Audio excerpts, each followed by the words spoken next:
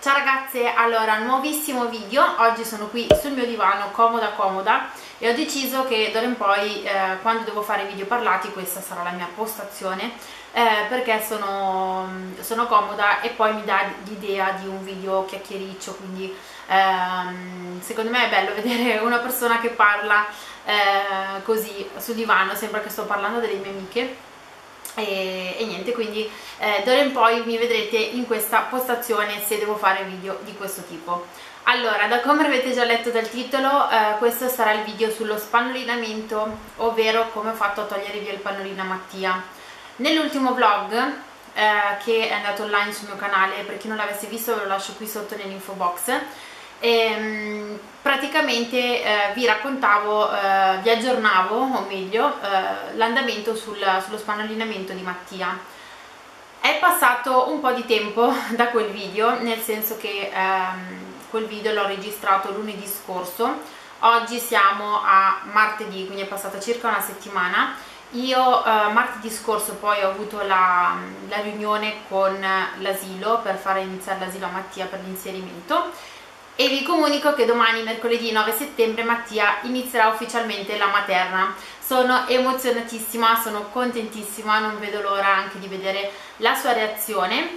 Eh, però comunque eh, di questo ne parleremo domani perché registrerò sicuramente un vlog eh, appunto del primo giorno eh, di asilo di Mattia. Prima di parlare dello spannolinamento voglio fare una piccola premessa e dirvi di eh, non preoccuparvi se ehm, vostro, il vostro bambino, la vostra bambina non riescono fin da subito a, a fare la pipì o la cacca nel vasino perché ehm, anche io ero disperata quindi io adesso vi racconterò la mia esperienza eh, e magari se appunto mh, volete raccontarmi la vostra esperienza sotto nei commenti fatelo pure perché eh, è un modo anche per confrontarsi e per magari dare consigli ad altre mamme. E eh, appunto vi specifico che ogni bambino è a sé, ogni bimbo ha i suoi tempi, ogni bimbo ha le proprie esigenze.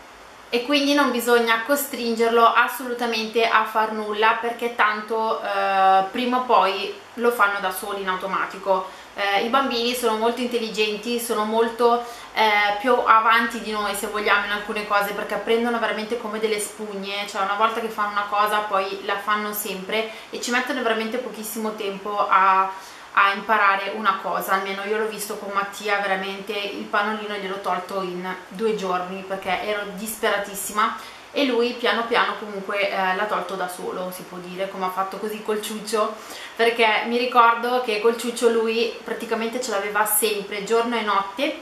A un certo punto dopo pochissime volte comunque che gli dicevo Mattia guarda che il ciuccio cacca il ciuccio tiriamolo via ormai sei grande di qua e di là io mi ricordo una sera che sono andata lì per darglielo per fare la nanna e lui praticamente me l'ha lanciato e mi ha detto no mamma caccacciuccio e da lì eh, praticamente non l'ha più preso. E quindi diciamo che ero tranquilla perché così come ha fatto col ciuccio ehm, l'ha fatto appunto col dormire da solo poi nel suo lettino e così l'ha fatto anche per, per il pannolino. Quindi è andata benissimo. Allora vi dico io cosa ho fatto. Questa primavera mh, mm, verso eh, maggio anche giugno, quindi prima dell'estate insomma, ho iniziato a dire a Mattia eh, che la pipì e la cacca andavano fatte nel, nel vasino e quindi non più nel pannolino. Ovviamente Mattia all'inizio eh, non è che mi ascoltava, mi ignorava totalmente perché comunque era ancora piccino.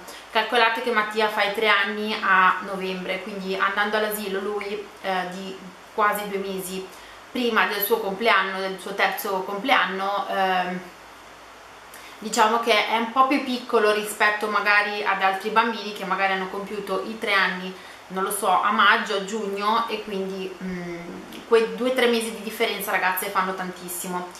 Però eh, comunque per andare all'asilo e so che in molti asilo è così, in tanti no, però per la maggior parte degli asilo è così ehm, non ci vuole il pannolino, quindi i bambini devono essere già autonomi e eh, devono essere in grado appunto di fare pipì e cacca ehm, faccio così perché sembra che questi bambini devono crescere così all'improvviso eh, così velocemente. Io eh, sono del parere che ogni bambino ha i propri tempi quindi non dargli fretta nel fare le cose.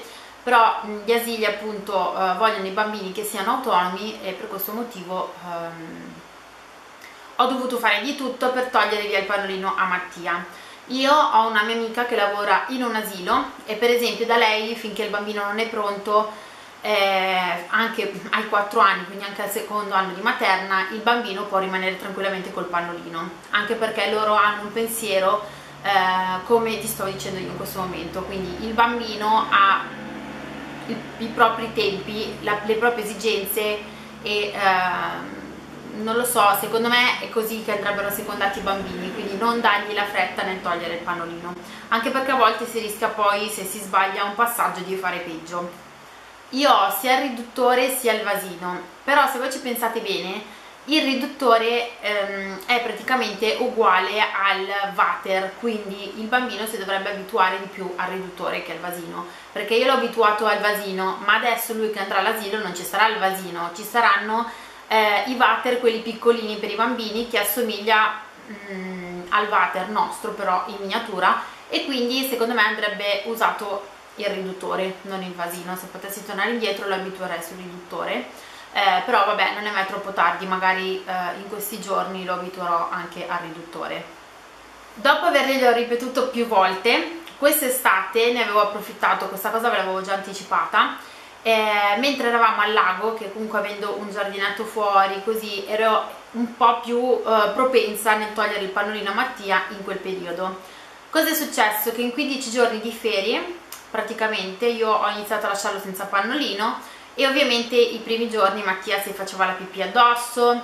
Ehm, per la cacca i primi giorni gli tenevo ancora il pannolino e diciamo che sono andata per gradi perché anche se si faceva comunque la pipì addosso ragazze mai sgridarlo, mai farlo sentire in colpa, anzi scherzarci su e fargli capire comunque che la pipì non si fa addosso ma appunto che si fa nel vasino e um, le prime volte ovviamente Mattia l'ho cambiato tipo 850 volte ma cosa normalissima e, um, poi dopo cosa è successo? che una sera praticamente mi ha detto che aveva male al pancino io ho provato a farlo sedere sul vasino perché all'inizio Mattia non ne voleva sapere neanche di sedersi. Eh, poi comunque al lago ci sono altri bambini e um, l'hanno aiutato tantissimo perché lui vedeva che gli altri bambini si sedevano sul vasino e si sedeva anche lui.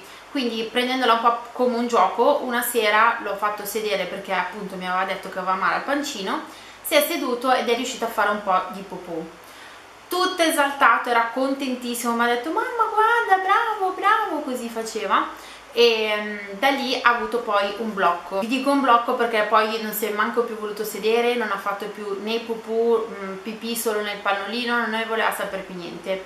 Poi cosa è successo? che si è raffreddato un pochino ha avuto un, qualche giorno con raffreddore e quindi ho detto posticipiamo perché comunque non era molto in forma, era un po' moggio, insomma aveva raffreddore senza febbre però eh, non era al 100% quindi ho detto fa niente, ormai siamo alla fine dell'estate eh, quello che ha capito ha capito, proviamo quando torniamo a casa. Ci sono tantissimi pensieri su ehm, se togli il pannolino basta, non devi più rimetterglielo oppure ehm, ci sono persone che pensano che il pannolino eh, tipo quella mutandina si possa alternare al vasino. Io la penso come al secondo punto che ho detto quindi eh, io ho alternato il vasino al pannolino perché mh, mm, secondo me è meglio andare per gradi. Poi ovviamente questa è la mia esperienza ripeto se poi voi invece avete tirato via il pannolino del tutto al bambino non gliel'avete più rimesso ehm, va benissimo nel senso ci sono vari pensieri io ho fatto in questo modo. Ho cercato di alternare un po' il pannolino un po' il vasino. Così Mattia si è sentito più sicuro e a suo agio. E eh, una volta che siamo tornati a casa appunto le prime volte sempre pipì addosso me l'ha fatta anche a terra a casa. Eh, però quello non è un problema nel senso ehm, si asciugava, si lavava insomma e le, le cosine bagnate che avevo addosso le lavavo quindi ci vuole tantissima pazienza ecco eh, mai perderla perché sennò il bambino poi si sente in colpa. E um, dopo averla comunque fatta anche a terra um, e ovunque praticamente eh, Mattia ogni volta che la facevo diceva no mamma cosa ho fatto? E ci rimaneva male. E io gli dicevo sempre Matti non ti preoccupare la prossima volta la provi a fare nel vasino. Non ti preoccupare amore però il pannolino non dobbiamo più metterlo perché tra un po' andrà all'asilo Così facendo, ripetendoglielo magari mm, giorno dopo giorno, anche abbastanza insistente, eh, sempre ovviamente con toni dolci, mai con toni mm, da arrabbiata, perché tanto non serve a niente, Mattia a un certo punto si è seduto sul vasino e ha fatto la pipì per la prima volta. E era contentissimo, infatti abbiamo festeggiato, abbiamo ballato, abbiamo, era tutto eccitato di questa cosa nuova che era riuscita a fare e abbiamo anche trovato un gioco, abbiamo fatto il gioco dei colori, quindi gli continuava a dire Mattia di che colore è la pipì e lui gialla e la cacca marrone, quindi ehm, insomma l'abbiamo messa anche un po' sul gioco. Ragazze, l'importante veramente, io scusate se ve lo ripeto, però mh, ho visto tantissime mamme anche sgridare i bambini per, perché magari si facevano la pipì a cacca addosso, è bruttissimo. La cosa importantissima è non costringere i bambini non ricattarli, se fai la pipì ti do il cioccolato, se fai la cacca ti do questo, no, sbagliatissimo. E tanto i bambini ci arrivano comunque ed è una cosa veramente eh, importantissima rispettarli, rispettare i loro tempi, esplorare, sbagliare, quindi ehm, assolutamente ehm, assecondarli in tutto e per tutto, soprattutto su questo su questo momento molto delicato per loro di crescita e um, veramente è stato uno dei periodi più, um, più delicati e più impegnativi da quando è nato Mattia. E anche eh, veramente non pensavo che era un periodo così ehm, importante e anche stressante per noi mamme però um, un momento anche bellissimo perché vedete proprio il vostro bambino crescere, è un passaggio proprio di crescita fondamentale e, um, ed è una cosa veramente impagabile perché um, è grazie a voi comunque che sta riuscendo a, a raggiungere piccole tappe no? quindi Mattia eh, praticamente ha continuato a fare la pipì nel vasino questo l'ha fatto per due giorni interi quindi per due giorni interi lui ha fatto la pipì nel vasino di notte comunque mettevo lo stesso il pannolino perché va bene tutto però non è che si può passare dal tenere il pannolino giorno e notte a togliere via il pannolino giorno e notte anche perché io pensavo sicuramente Mattia di notte la farà uh, addosso. Uh, così è stato per i primi due giorni. La terza notte invece uh, io e Roberto abbiamo dormito tipo un'ora perché Mattia continuava a girarsi, a rigirarsi nel letto. Non capivamo che cosa avesse perché eh, era molto agitato. Allora lui era andato a dormire perché è successo la domenica notte. Eh, lui è andato a dormire, si è addormentato in macchina che erano tipo le 9 meno un quarto che stavamo tornando dal lago. L'ultima pipì l'aveva fatta alle 8 di sera. Una volta tornati a casa lui ha continuato a dormire, le abbiamo dato il latte. E insomma eh, questo per dirvi che di notte era agitatissimo. Io così per scrupolo ho toccato il pannolino a Mattia era asciutto però ho detto vabbè la farà. Eh, non è la prima volta che mi capitava di sentire a Mattia il pannolino di notte asciutto poi magari la mattina lo trovavo pienissimo.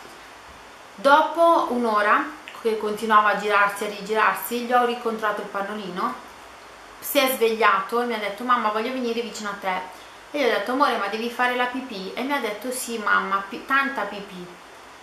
Lui praticamente eh, continuava ad agitarsi perché aveva lo stimolo della pipì e infatti l'ho messo sul vasino di notte, mi ricordo erano le 4 di notte più o meno, l'ho messo sul vasino e si è liberato.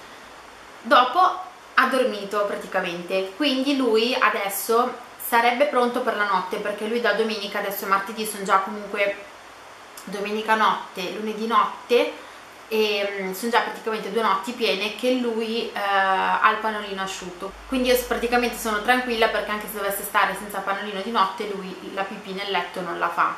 Però comunque voglio tenerglielo ancora magari qualche, qualche notte così.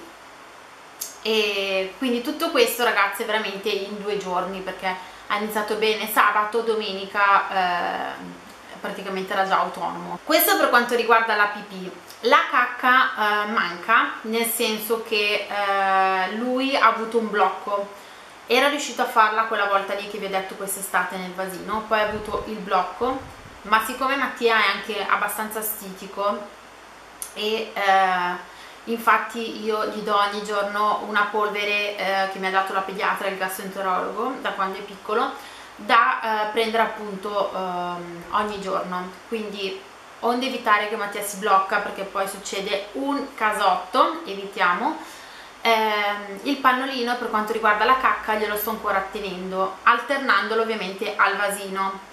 Eh, faccio praticamente la stessa cosa che ho fatto per la pipì lo sto facendo anche per la cacca perché comunque mh, mm, più o meno parlando con diverse mamme ho sentito e mi hanno raccontato che per la cacca ci vuole un po' più di tempo però eh, ecco non mi arrendo, non mi abbatto, ho sempre tanta pazienza e farò la stessa cosa appunto come ho fatto per la pipì farò anche per la cacca uguale identico nello stesso modo.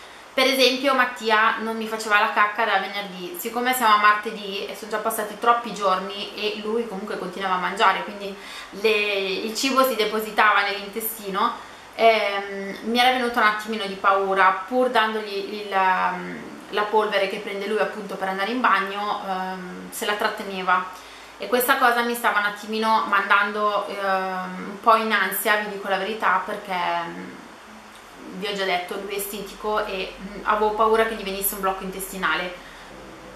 Praticamente Mattia stamattina mi ha chiesto, mamma cacca nel pannolino? E gli ho detto, amore mio, se questa cosa ti fa stare tranquillo, falla pure nel pannolino, poi pian piano lo faremo anche nel vasino, anche questa. Meno male, meno male che Mattia ehm, mi ha dato ascolto e l'ha fatta tranquillamente nel pannolino, perché per lui era diventato come ormai non si fa più niente nel pannolino ma solo nel vasino. Però secondo me anche qui bisogna andare a step. Quindi sono tranquillissima perché prima o poi Mattia farà anche tutto eh, nel vasino compresa la cacca e, mm, e, niente quindi questa è stata la mia esperienza. Ehm, è stato ripeto il momento più delicato in assoluto da quando Mattia è nato. Ce ne saranno altri ce ne sono stati altri però questo però è stato un, veramente un grande passo, il primo grande passo secondo me della sua crescita eh, che ha segnato una tappa, quindi come ha segnato il parlare, il camminare, anche il fatto di togliere il pannolino è una grandissima soddisfazione, una grandissima tappa. Sono veramente contenta di, di questo e solo chi mamma mi può capire, solo chi ci è passato può capirmi e io mi emoziono sempre ragazze, non ci posso fare niente, però um, è veramente una cosa impagabile, una cosa veramente impagabile. Quindi ragazze, se eh, voi vi fa piacere raccontatemi la vostra esperienza lasciandomi un commento qui sotto. Io vi mando un bacione grandissimo, ci vediamo la prossima volta in un nuovo video. Ciao!